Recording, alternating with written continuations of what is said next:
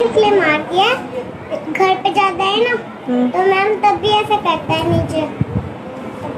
फिर कहता है ऊपर जाके मम्मी खाना दे दो मेरे को भूख लगी है।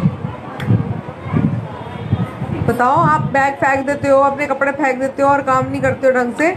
और फिर मम्मी से परेशान होगी नानी की चली गई।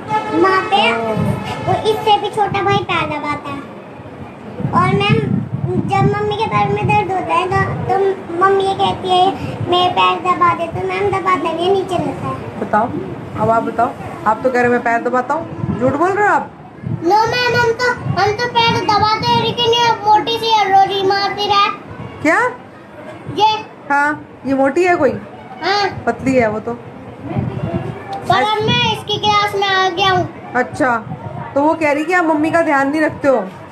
पर मैंने खट्टी टॉफी खाई है। अच्छा तो वो कह रही कि आप मम्मी का ध्यान नहीं रखते हो?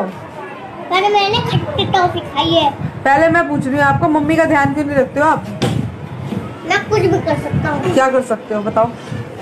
मैं बता सकता हूँ मेरे मेरे चाचा ना मेरे लिए एरोप्लेन लाए थे मैं नाम के लिए कार लाए थे रीता के लिए रीता के लिए डॉल लाए थे और और और हिप्सा के लिए जून- जूना अच्छा आपको अच्छा बच्चा बनना है गुड बॉय बनना है ओके मेरे पास तो एरोप्लेन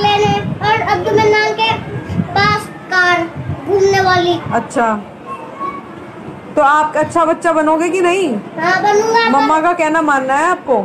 हाँ पर पर पर मेरे एरोप्लेन में सेल खत्म हो गए। अच्छा। ठीक है चलो जाओ। Okay bye